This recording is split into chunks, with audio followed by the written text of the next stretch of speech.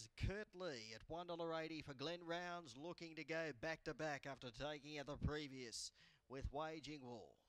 About to come in.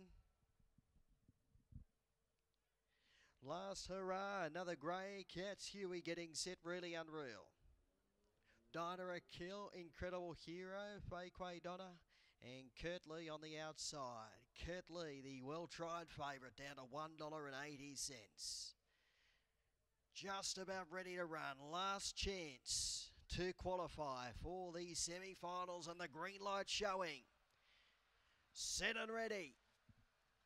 Racing, Kurt Lee came out running. He's going to charge over. He's going to lead for fun through the first corner.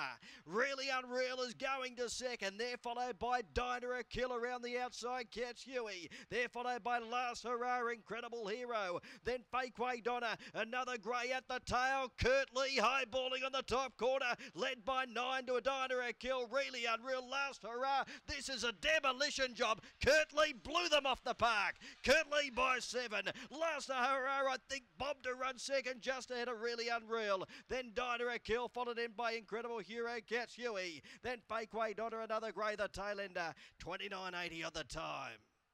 Oh, he's a real player. He's a real, real player. 5.39 early on. 13.80 to the back. 17.92. 29.83 the official time and he's run the quickest of the night. Run home 11.91. 817 confirmed. Number two, Dinah Kill, fourth in.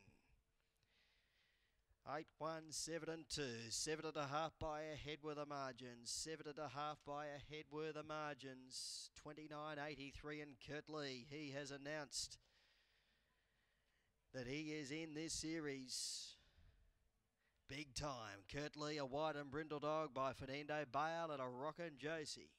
Owned by David Carroll and trained by Glen Rounds at Devon Meadows. A running double for Glen after Waging War won the previous. Last Hurrah has run second for Matthew Nash ahead of Really Unreal John Finn and fourth in Direct Hill.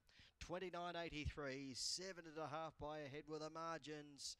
And we just await on the all clear after the running of race six, the final city qualifier of the Tab Million Dollar Chase.